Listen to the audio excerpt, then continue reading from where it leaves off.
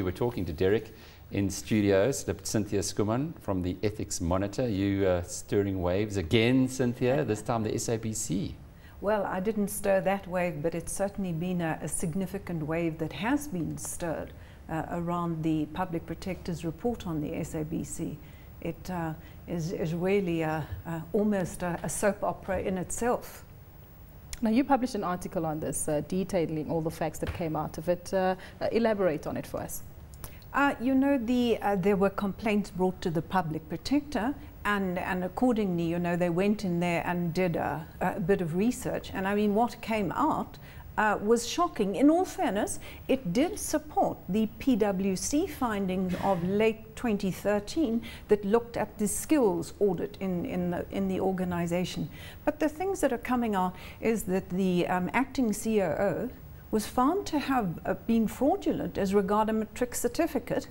And then, you know, to add to just that incident, um, the then acting chairman, Dr. Ben Ngubane, in fact changed the requirements for a job to exclude the, the matriculation as, as a requirement. Um, but there were other scathing charges that, that salaries were, were awarded to people inappropriately. Uh, a lot of people pushed out with completely inappropriate procedures, uh, which added huge costs to the organization in terms of CCMA, court action, legal fees. Um, but coming back to the acting COO, who seems to be impervious to these charges, um, he also, uh, I say awarded himself, but in the period uh, received uh, in the single year received three salary increases from a salary of 1.5 to 2.4 million per annum. Now, you know, I think a lot of people would wish to receive that, um, but her findings uh, were really that she investigated this issue and all these issues were substantiated in her report. So it's really very damning findings. You, you wonder what goes on in the heads of the, those who perpetrate these kind of nonsenses. Changing his matric certificate, the chairman saying it's okay. Do they not think that they have thousands of others who are watching every, every step along the Do they think we're stupid? Or the people who work there are dumb? Well, you know, Alec, I think part of the problem with this story is that they almost seem to be disregarding of, of other opinion. Uh, I mean, the chairman, the current chairman of the SABC board, is on record as saying the board is right behind him, and of course, we would want him to stay in this position irrespective of the report. Um, now, you look at it and think, for goodness sake, that can't be with charges of that magnitude. Um, but in fact, that is not the response. It is uh, politely, I suppose one could say, it's counterintuitive. Uh, but the response has been as startling as the accusations. Do people just not listen?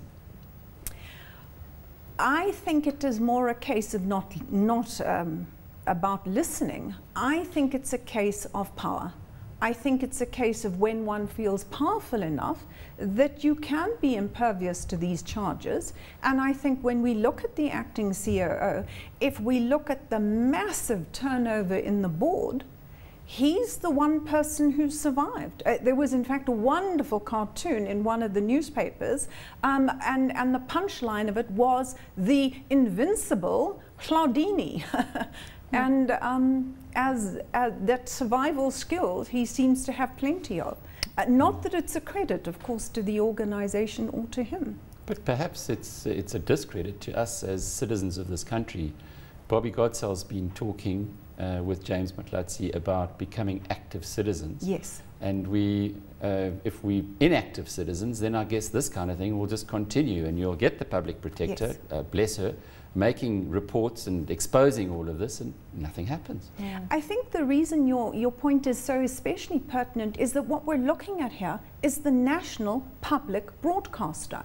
It's not just some company, it, it is meant to be, you know, our national broadcaster. And, and we would expect them to conduct themselves appropriately. And, you know, it, it really couldn't be further from the truth. So whose responsibility is it to make sure that the powerful are in check and follow the rules? Do you know, within that situation, in, in theory, of course, it is the chairman of the board, and, and the CEO would have a, a particular um, realm of responsibility. I think the challenge we have to take into account with that is that we'd be naive to assume that there wasn't some political um, influence there. And you know, that political influence was for the credibility of the reporting, for the betterment of the organization, for the benefit of the public, especially add with us heading towards an election, mm-hmm. um, then we would say that that political influence is being exercised appropriately. Um, but it really has been shown that they've had weak boards. And so someone like the, the current and still existing acting COO um, has been able to exert an influence, a negative one I would suggest, over a long period of time now. Cynthia, it's interesting how the world is changing and developing and uh, with the technology that we have today, we've seen when it gets beyond a tipping point, as in the Arab Spring, that quite radical things happen. Mm -hmm. Surely the sensible thing is to make sure it doesn't get to that tipping point, that people start behaving appropriately. But to get back to Googs' question, how? How do you do it? How do you avoid How do you get people like this to act appropriately? I mean, he forges his matric certificate, gives himself three salary increases, writ, attacked by the public protector who uh, is there to protect us, the public. Yes. And yet it's water off a duck's back. So how do you address this? Do you know, um, I feel like saying uh, it can be addressed easily, but there's a big but attached to that. Without leadership will and without leadership commitment, I don't think one can address this effectively. I think you can paper over it and you can have another little audit or another report by someone who would, you know, lend themselves to a more favorable report. But I think that the papering over the cracks um, is all it would amount to. For me, it has to be driven uh, by leadership will and by leadership commitment of saying that is not how this company runs. We choose to run an ethical business. Mm. Well, uh, so that's, we'll see that that's the challenge. An interesting challenge indeed. Cynthia, thank you so much for your time.